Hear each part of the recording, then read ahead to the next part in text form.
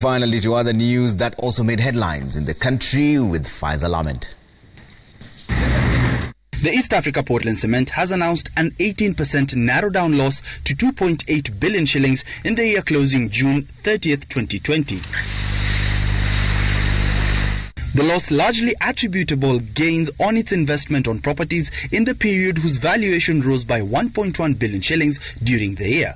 The cement manufacturer also trimmed its administration and selling expenses to a flat 2.5 billion shillings on the back of a workforce restructuring which saw the board declare all jobs redundant in August 2019.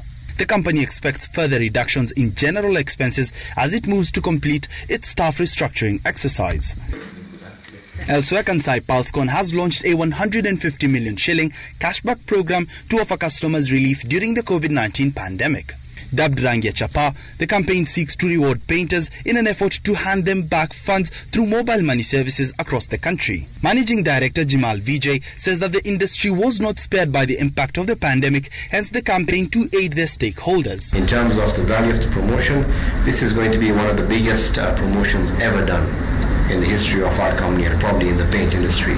We've set aside a whopping 150 million shillings for this promotion. 150 million shillings. And this is what we want to ensure goes out into the overall uh, promotion. And a large part of this is going to end up in, in the pockets, in the households of our very valued and supportive customers across Kenya. In Homa Bay County, Smallholder Sugarcane Farmers Association have joined their counterparts in calling for the full implementation of the task force report. Addressing the media in Ndhiwa, the association said that the report, if fully implemented, will change the fortunes of sugarcane farmers in the country. We are against it and we are supporting the SOGA 2020 regulations yes. and we want it yes. to be implemented as early as yesterday. Uh, we want it implemented as quickly as possible. And anybody who's rejecting or, or having different view is going to meet the wrath of the sugarcane farmers in Kenya. and finally, Standard Chartered Bank has partnered with the Kenya Community Development Foundation to support communities facing hardships due to the ravaging effects of the coronavirus.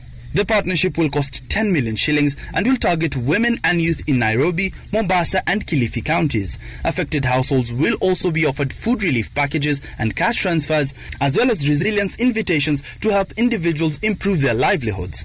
Faisal Ahmed, Citizen TV, Nairobi.